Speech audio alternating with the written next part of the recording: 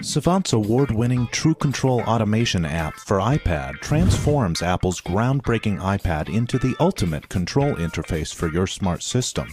Let's take a look at how it works.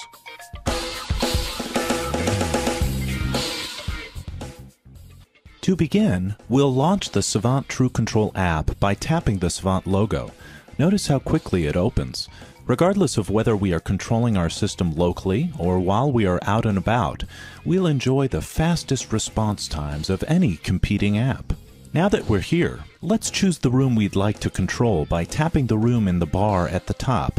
In this popover, if we have a lot of rooms to choose from, we can swipe our finger up and down to rapidly go through the list. We'll choose the living room here. Having chosen the living room, we can see that the name has changed to show the current room we are controlling. On the left side, we can see our categories dock. This represents all of the different categories which are available to control in this room. When we select a category over here, like Watch, all of the video services that are part of that category will show up over here. We call this the Services dock. Services are what we'd like to enjoy and control. If we have a lot of services, we can simply swipe our finger up to see additional services in the list. And if we get to the bottom of a list, the icons will intuitively bounce back to let us know that there are no more items in that list. Once we've found a service we're interested in, we just tap it.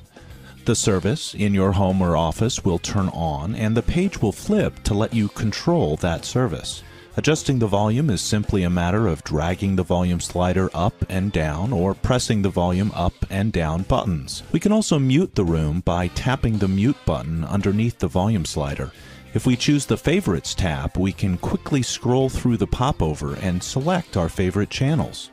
If we change our mind and want to enjoy a different service, we can simply choose the category and the service we want. Depending on how our system was designed, we might see that choosing some services results in a popover with additional items in the list. This happens in fully distributed systems where almost every service can be enjoyed in any room. Because that might normally result in an incredibly long list of options, this popover lets us choose from a more manageable list of similar services. If we choose a room that doesn't have a TV in it, notice that our categories and services change to show us only what is available to that particular room. Why don't we listen to iTunes in here? As you can see, it is very easy to navigate from room to room and choose different services. Our rooms list will even show us which rooms are on with icons that represent the services that are active in those rooms. And if we have integrated environmental controls such as lighting and climate, controlling them is very similar. Once we're done, if we want to turn off a particular room,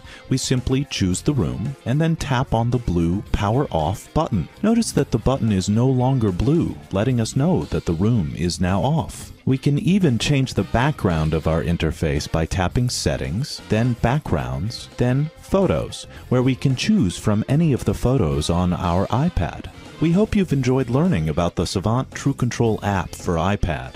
It represents an important part of an incredibly scalable Savant control solution. It has never been easier to watch TV, control the lights, adjust the temperature, monitor your energy usage, or simply make a phone call. And whether your system is large or small, we think you'll agree with us when we say, now you can.